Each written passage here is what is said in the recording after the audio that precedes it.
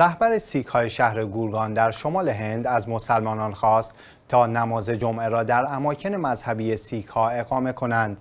پس از اینکه گروهی از اعضای مرتبط با جنبش هندوتوا جنبش ملیگرای هندو مزاحمتهایی برای مسلمانان شهر گورگان در شمال هند برای اقامه نماز جمعه به وجود آوردند شیلی سینگ سادو از رهبران سیک ها اعلام کرد که به پیروان همه مذاهب اجازه می دهد تا از گردواره های آنها که محل اجتماع و نیایش پیروان سیک است برای عبادت استفاده کنند.